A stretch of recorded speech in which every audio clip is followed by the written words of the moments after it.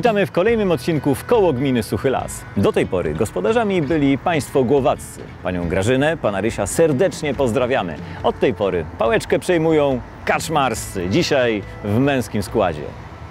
Nie tracąc czasu, w dzisiejszym odcinku wyruszamy do Zielątkowa. To niewielka miejscowość na granicy naszej gminy, pełna walorów turystycznych, przyrodniczych oraz ciekawych ludzi, których coraz więcej tam się sprowadza. Dzięki temu miejsce to staje się jeszcze bardziej magiczne. Ruszamy!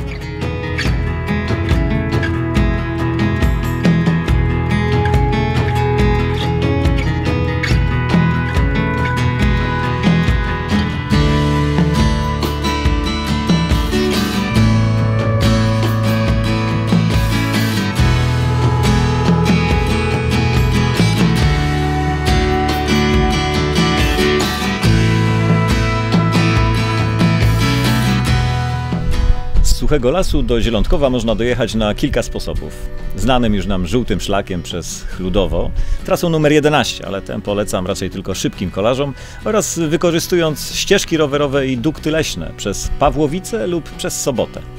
My wybraliśmy tę drugą opcję. Y, Aby tą trasą pojechać, z podrzędu gminy należy przejechać przez osiedle Grzybowe w Złotnikach, y, kierując się przez Złotniki na Sobotę. Następnie skręcić na Golęczewo i z Golęczewa prosto, a właściwie wykorzystując piękne szosowe zakręty do Zielątkowa.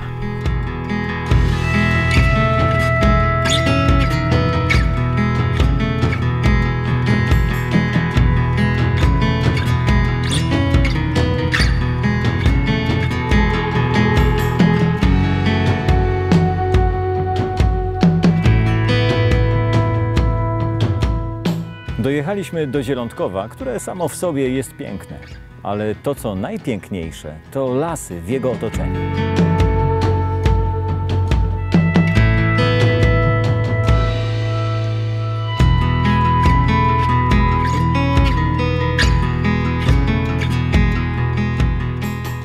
Jesteśmy w graniczącej z Zielątkowem Dolinie Samicy. O wyjątkowości tego miejsca opowie nam mieszkaniec Zielątkowa, dr Robert Korzeniewicz, na co dzień pracownik Katedry Hodowli Lasu Uniwersytetu Przyrodniczego w Poznaniu. Jesteśmy w niewielkim kompleksie leśnym, który wkleszczony jest pomiędzy wsie Zielątkowo, Golęczewo i Sobotę, który rozcięty jest wspaniałą rzeką Samicą Kierską, która wlewając się do tego naszego zielątkowskiego lasu, meandruje w niektórych fragmentach, a potem rozlewa się na łąki naszej wsi Zielątkowo. Wspaniałość tego obszaru polega na tym, że w bardzo bliskim sąsiedztwie naszej wsi możemy obserwować to, co się dzieje w normalnym lesie gospodarczym, gdzie ciężka praca leśników rozpoczyna się od założenia upraw i kończy się na procesie użytkowania drewna. To wszystko jest wykonane w taki sposób, żeby las łączył harmonijne funkcje ochronne, funkcje turystyczne, a także funkcje związane z użytkowaniem lasu. Te elementy turysta przemierzający ścieżki, które tutaj są wspaniale wyznaczone, wspaniale opisane, może zobaczyć na własne oczy, dotknąć i zorientować się, że las w Zielątkowie jest wspaniały, oddycha, tętni życiem i w tym lesie można spotkać ryczącego jelenia, sarenki.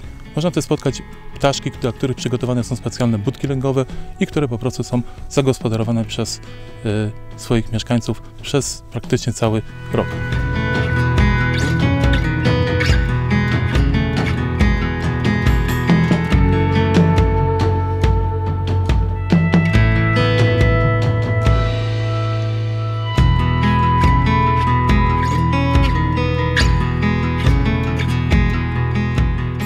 Jeżdżąc po zielątkowskich lasach można spotkać rowerzystów, spacerowiczów, ale także kijkarzy.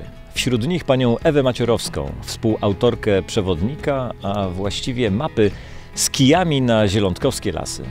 Pani Ewo, skąd pomysł, żeby do wielkopolskiego Zielątkowa wprowadzić Nordic Walking?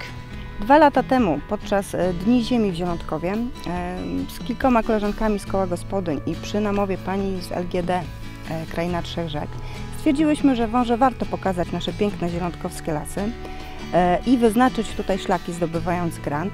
E, Udało nam się. Po tych szlakach chodziłyśmy już oczywiście wcześniej, ale w tym momencie, jak były dodatkowe pieniążki, powstała piękna mapa, piękne mapki, ulotki, e, gdzie każdy może się zapoznać, nie znając tych okolic kompletnie. Starałyśmy się je tak wyznaczyć, żeby się nikt tutaj nie zgubił, a z przyjemnością sobie po naszych lasach chodził. Zatem zapraszamy do aktywnego spędzania czasu w Zielątkowie. A mapkę możemy otrzymać w Urzędzie Gminy, wersję elektroniczną pobrać ze strony gminy. Zapraszamy.